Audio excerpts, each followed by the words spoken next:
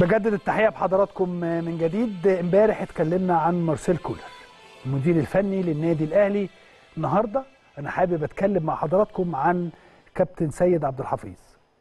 سيد عبد الحفيظ من عشاق الكيان واحد من المخلصين. لما تقعد مع سيد هتلاقيه دايما معجون بمية الأهلي طول الوقت مهموم بالفريق. سيد واحد من أنجح وكابتن سيد يعني واحد من أنجح الإداريين في تاريخ مصر من وجهة نظري ومن وجهة نظر ناس كتير قوي غيري الحقيقة. واحد من أهم مدير الكرة في تاريخ النادي الأهلي. المنصب اللي تولاه كابتن سيد ومن قبله عدد كبير جدا من الرموز وعباقرة الإدارة.